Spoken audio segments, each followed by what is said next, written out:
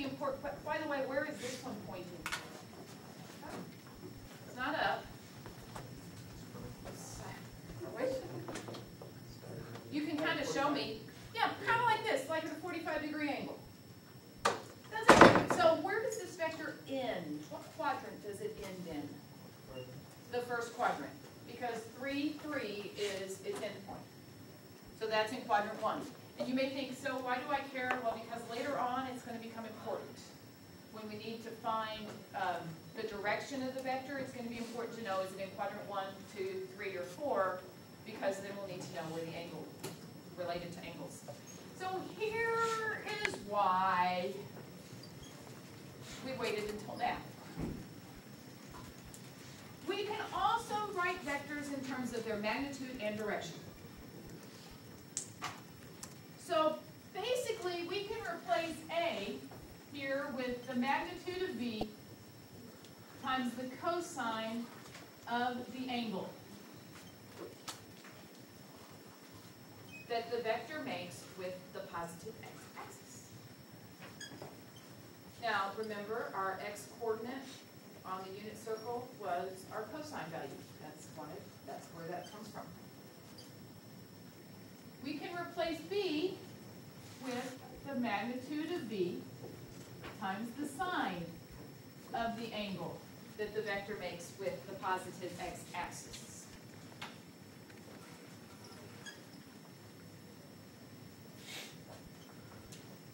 Now, this one we don't use quite as much, because it's really annoying.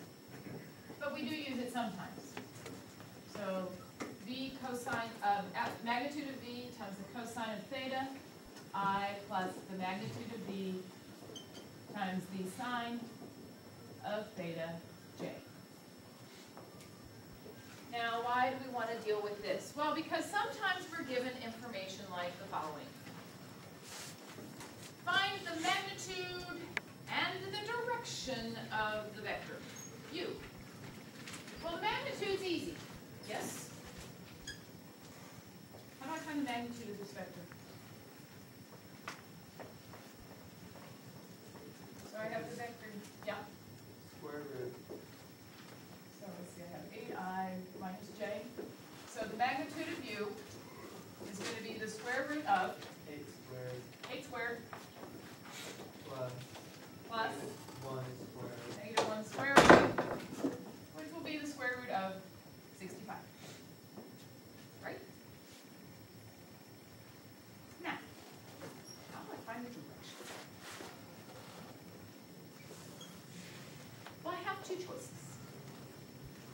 One option is to use the fact that I know the magnitude of v times the cosine of theta is equal to eight, because that's what's in front of my i. The other option is to use the magnitude of v times the sine of theta is equal to negative one, because that's what's in front of my j. Now I have a question. In this process, I'm obviously going to have to take either the inverse cosine or the inverse sine. Which one, inverse cosine or inverse sine, comes out in nicer quadrants faster, more often? Did you guys, did you notice this while you were solving your inverse trig functions? Which one? It was the cosine one. Remember when you took your inverse cosine, you could end up in quadrant one or in quadrant two in a nice positive direction.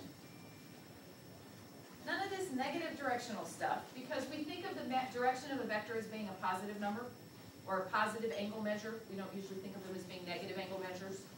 So we think them as the smallest positive angle measure between zero and two pi, or between zero and three sixty.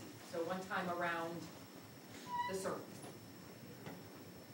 So that means it's gonna be a whole lot nicer using the cosine version sine version, because there's a lot more work with the sine version. Some of you got that explanation in the thing. So let's do this version.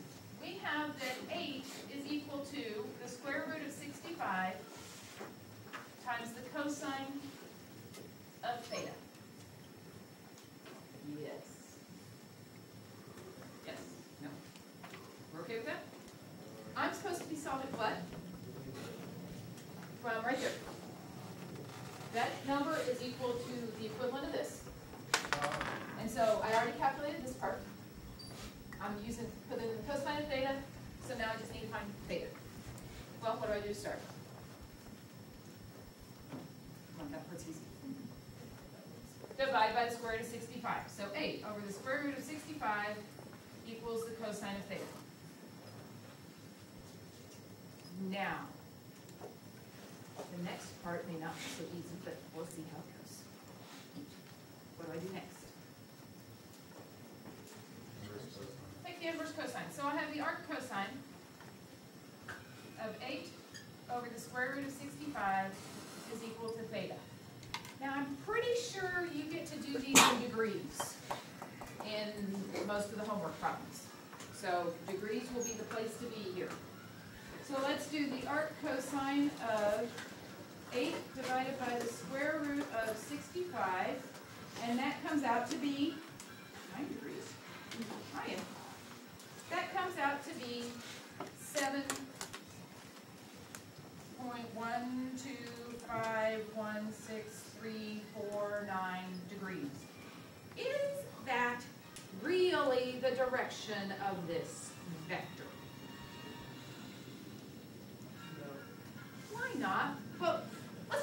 Of where this vector is pointing. There's my x and y axis.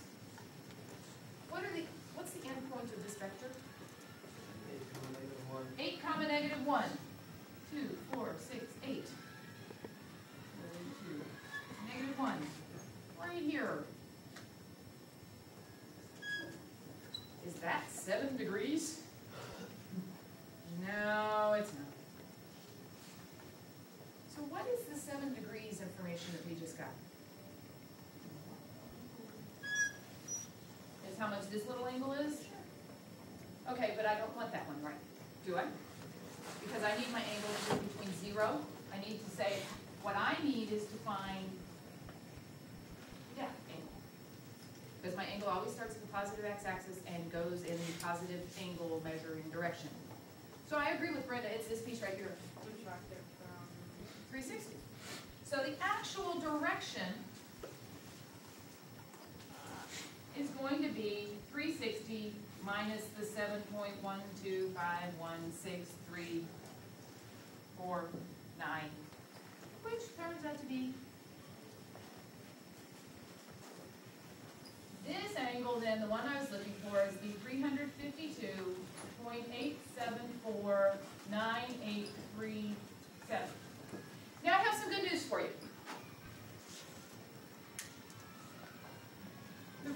And by the way, if you decided to use this one with the negative j, the negative one, you could end up in the same place, but it'd take a little bit more work to get there. If your vector is in quadrant one or quadrant two, this process will produce a theta that is also the direction of the vector. Every time, because when we do inverse cosines, they come out in one and two. So if your vector was pointing into quadrant one or quadrant two, we're set.